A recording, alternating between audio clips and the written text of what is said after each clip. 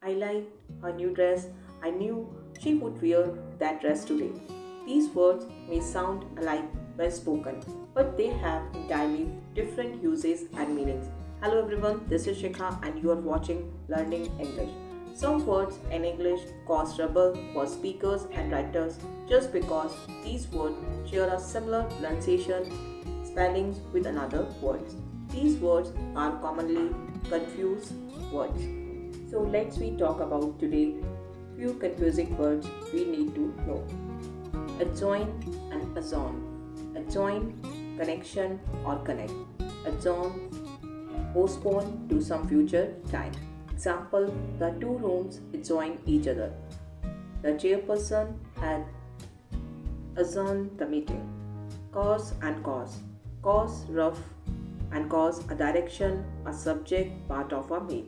For example, a jacket made of very coarse clothes. Next is cause, a direction, a subject, part of a meal. An example of cause, his life was on a new course now, and the future looked brighter than it ever had. Dual and duel.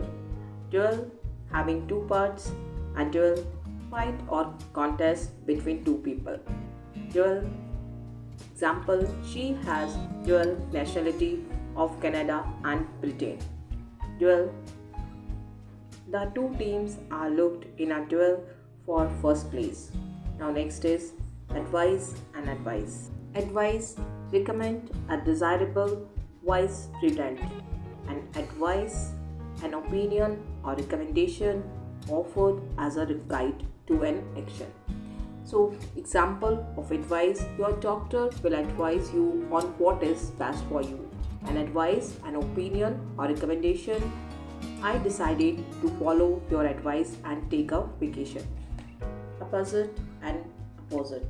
Opposite, suitable, well adapted. And opposite, contrary, radically different. Examples you are studying tonight because red dress is opposite for you. Opposite means contrary, radically different. For example, they represent opposite sides of the issues. Afflict and inflict. Afflict means give pain or grief to. For example, the disease afflicts an estimated 2 million people every year. Inflict inflict means impose something. For example, they surveyed the damage inflicted by the storm. Now next to PC born and borne. Born having a started life, borne to carry transport. For example, she was born last year and borne to carry transport. The boat has borne away. Now next see desert and dessert. Desert means dry or lifeless and dessert sweet food served after a main course. So example of desert, the sun plays down on the desert. Dessert, sweet food served after a main course. Example, there is fried ice cream and cheesecake for dessert. Now, next see pour and pore, or flow or cause to flow. For example, the burst pipe poured out water. Pore, tiny opening to study something closely.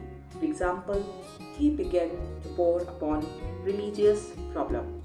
So now you can understand the difference between these confusing English words. So make an example sentence with each one and try to using the new words in conversations today. Thanks for watching. Please subscribe my YouTube channel and press the bell icon to get more video updates. Till then, keep watching.